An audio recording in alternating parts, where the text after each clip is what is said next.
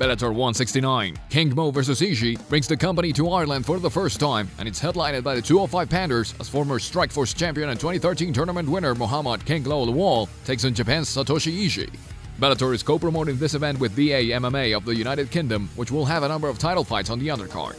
Keep an eye out for where you can see that card, either Spike TV or Spike.com, likely. Bellator 169 King Mo vs Ishii is coming up Friday, December 16th, 2016 at 9 p.m. That's the main card at the 3 Arena in Dublin, Ireland. And you can watch the main card on Spike TV.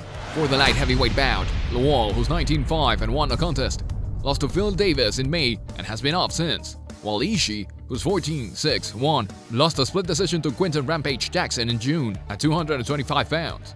Ishii is a dangerous fighter who won judo gold at the 2008 Olympics in Beijing but Lawal is going to look to use his wrestling to take Ishii on the mat and grind out a win. If Ishii stays up, he has a chance. But Lawal wants to get back to Davis, who is the current champion. Our pick for this fight is Lawal. For the featherweight bout, Taylor, who's won one, lost six of his seven amateur fights and then his pro debut, but then he TKO'd Victor Jones in May. Gallagher, who's 4-0, is from Northern Ireland and is 5-1 as an amateur, and he is now perfect as a pro after a unanimous decision over Mike Cutting in his Bellator debut in July. This is set up perfectly for Gallagher, who has 3 submission wins as a pro and another 3 as an amateur. Our pick for this fight is Gallagher. For the women's flyweight bout, Harper, who's 4-1 from England, makes her Bellator debut and she has 2 TKO wins, along with a submission win. Vargas, who's 2-1, won her first two pro fights, then was submitted by Emily Ducote in her Bellator debut in July. Harper seems to be more versatile, but going to the ground with the Brazilian Vargas might be a dangerous prospect. Our pick for this fight is Harper.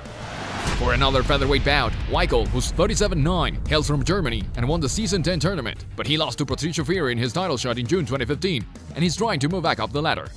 Moore, who's 9-4, is from Ireland and makes his Bellator debut. He brings 5 submission wins to the table as well. Weichel has 21 submission wins, and he has a wealth of experience he can call on. He will need it because the Irish fans will be backing their man loudly.